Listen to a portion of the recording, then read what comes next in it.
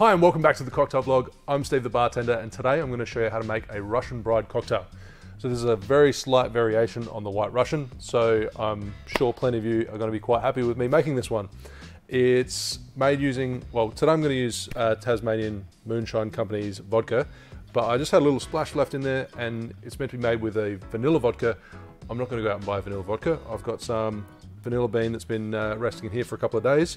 Uh, and I believe it's going to give more of a, a, natural taste as opposed to most of the vanilla vodkas that are out there. So that's why I'm using this. Um, and the main difference, the key difference between a White Russian and the Russian Bride cocktail is the addition of a chocolate liqueur. So I'm using a uh, white creme de cacao.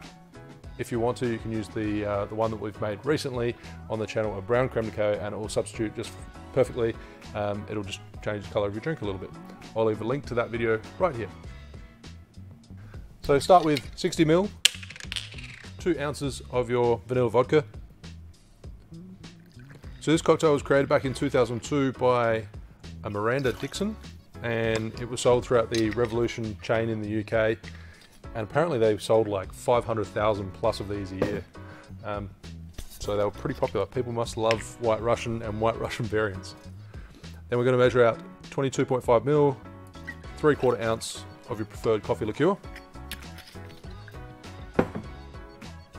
And then follow it up with your white creme de cacao. Seven and a half mil, quarter ounce. So it's just going to add a little bit of a chocolate note to your normal white, white Russian recipe. And then we're going to use about 15 mil, half an ounce of cream and full cream milk. Just free pouring with those because I don't want to dirty up my jigger for my next cocktail. So add ice into your Boston glass and give it a quick shake.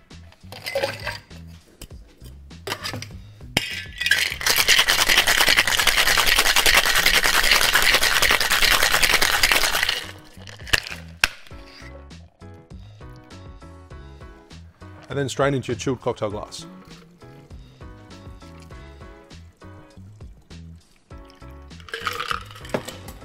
Then for garnish, chocolate powder. Just sprinkle that on the top. And there you have the Russian Bride cocktail. Cheers.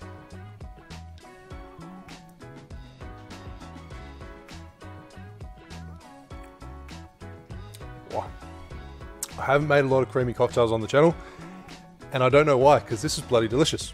It's rich, it's creamy, coffee notes, chocolate, like pretty damn tasty. Thanks for watching. Make sure you like and subscribe, and I'll see you soon for another cocktail video. Cheers. And don't forget to smash that bell button.